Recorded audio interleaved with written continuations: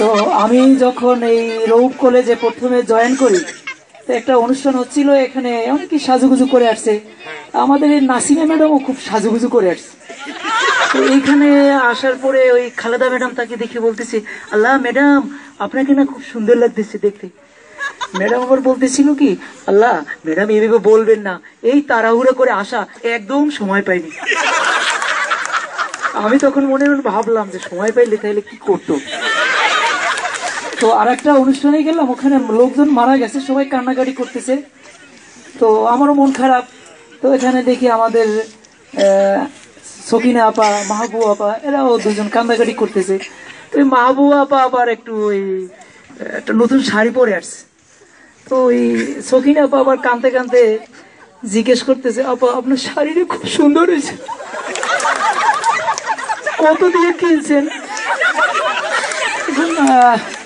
মাহবুব আপা আমার বলতেছিল যে আমি বলতে পারব না, আপনার ভাই জানে কিনছেন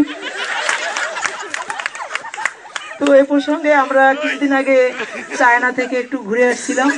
তো এখানে আমাদের সায়াম ফরাজি, সে তো অনারগুলো ইংলিশে কথা বলে এবং সবাইকে দেখাইতেও চায় সে খুব ইংলিশ পারে। তো বেজিং এয়ারপোর্টে নামার পরে আমাদের এক স্টুডেন্টের সাথে দেখা হলো। তখন ও দৌড়িয়ে আসলো, আমাদেরকে সালাম দিল, শুভেচ্ছা বিনিময় করলাম। পরে ওই স্টুডেন্ট মন খারাপ। স্যাম ফরাজি বলতে আরে, তুমি তো আমাদের দিকে খুশি হওয়ার কথা, তোমার মন খারাপ। কারণ কি, ঘটনা কি? তোমার মেন্টালিটি খারাপ কেন? বলতে স্যার, আমি তো আসলে বছরখানেক আগে বিয়েও করেছিলাম। আমার একটা বাচ্চাও হয়েছিল। তো ডেলিভারি কেসে আমার ওয়াইফ মারা গেছে। তো স্যাম ফরাজি তখন বলছে, আরে ডেলিভারি ডিজিজ বলো না বলো না। এ তো বড় সাংঘাতিক ডিজিজ গত বছর এই ডিজিজে আমার চাচাও মারা গেছিল।